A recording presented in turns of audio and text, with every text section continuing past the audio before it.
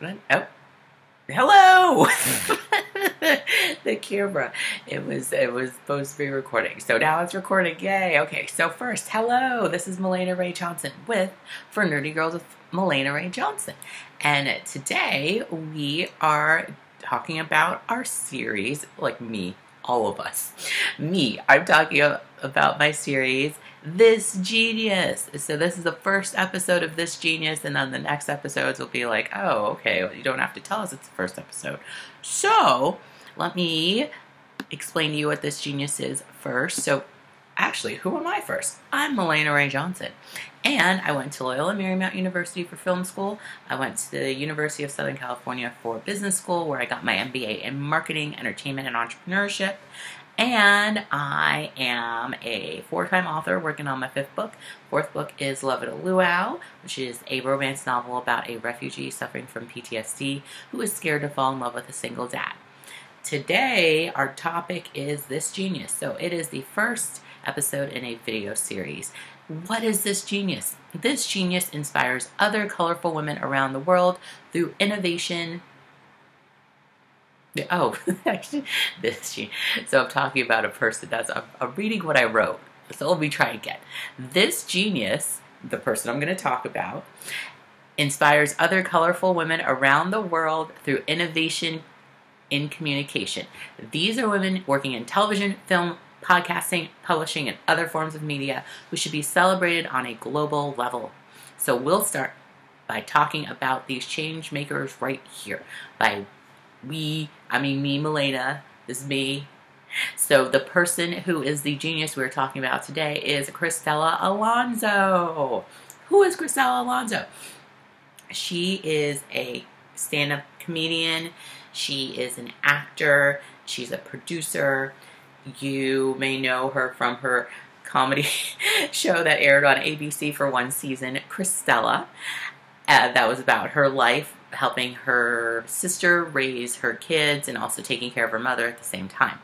She is also in in Cars 3 as Cruz Ramirez, the uh, I guess the featured car in the movie.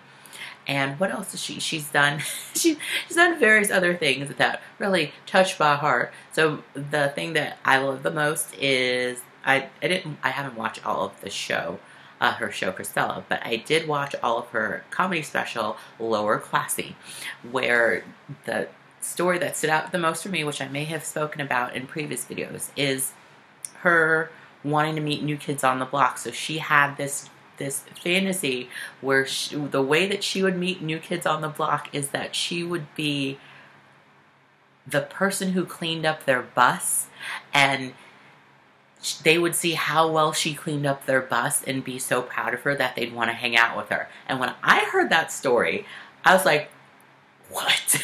I was horrified because I have lovely fan fiction fantasies of myself. One that I will share uh, uh, after watching D2 The Mighty Ducks. I wanted to be a Mighty Duck, so I wanted to be the the Mighty Duck player that played with them in the Goodwill games from St. Thomas.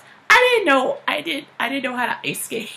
We had no snow in St. Thomas. There was nothing. There was no ice rink because that was just crazy. I mean, I, obviously there was ice rinks in Florida, but I just said I want to be up there with them.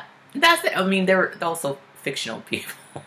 they're they're real people, but fictional characters. But I just had my these ideas of whatever I want to meet somebody, I'm going to be at the same level as them. I don't know how they got there, but that's what I'm going to be. I never thought to myself, I want to clean someone's bus. I was like, no. But the thing that really touched me about that was that was where she was coming from in her world of what she saw around her. And she felt like, well, they're here. I am here. The way to get to them is to be their maid. And that helped me think about the ways that other people think, especially in the United States, uh, um, there's so many different, there's such a spectrum of lives, and it gave me insight into her life and the fact that she has come from that mindset to to the mindset of creating her own show. She saved up money to make her own pilot and then sell it to studios. and get it on the air and actually become a show. That that's a huge shift from wanting to clean someone's bus to creating a, an entire pilot episode for your own series and saying, this is what I want to do.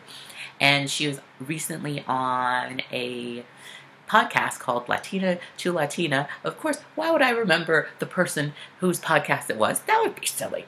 But you should look it look it up. It's called Latina to Latina. It's from Bustle, and Cristela Alonzo is on one of the episodes. She also has her own podcast that she she does intermittently, which also makes me feel better about myself because I know that that that she and Angela Rye have podcasts and they don't do them all the time, but they are still pretty cool people so she taught there was something she talked about in the podcast. And she talked about um, being cruz ramirez and going to to different cities and showing cars 3 with the help of disney to different to different boys and girls clubs. And there was a there was a child in boyle heights who who talked to her and, and asked her she, I guess she presented the movie and then she was, this boy said, hey, over here. And so then they were talking